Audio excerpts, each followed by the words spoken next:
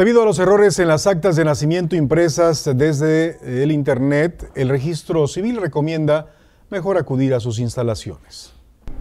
A través de Internet se pueden expedir las actas foráneas de nacimiento, matrimonio y defunción, ingresando de una manera sencilla a la página. Sin embargo, si esta tiene un error, la persona perderá su dinero y tendrá que pagar nuevamente por una nueva acta.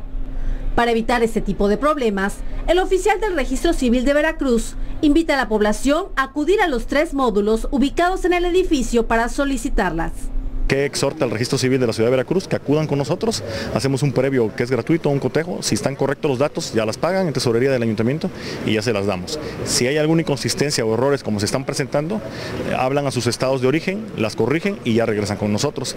El acta se entrega en cinco minutos y el costo es de 222 pesos. El horario de atención es de 8 de la mañana a 4 de la tarde, de lunes a viernes. A diferencia de que la pagas en tu casa, eh, va en hoja blanca BOM de tu impresora personal, aquí es un papel valorado con, con todos los códigos de seguridad.